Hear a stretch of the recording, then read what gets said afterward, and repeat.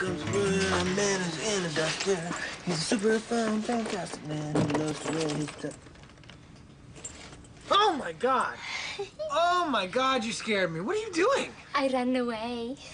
Okay, good. Uh, what are you doing here?